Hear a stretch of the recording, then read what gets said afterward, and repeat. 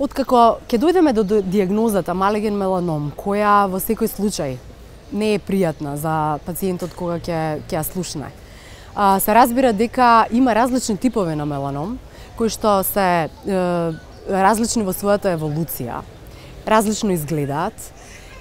И нормално, во зависност од тоа колку малигниот меланом е напреднат и во која фаза се наоѓа, од тоа зависи и третманот, па на крајот и исходот од лекувањето.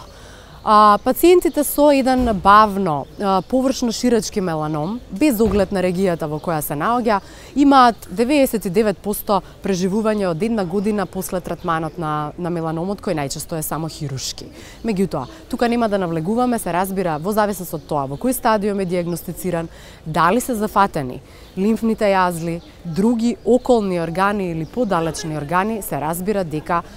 како малигниот меланом напреднал во својата еволуција, така и лекувањето е посериозно, има мултидисциплинарен пристап во лекувањето и исходот е вариабилен.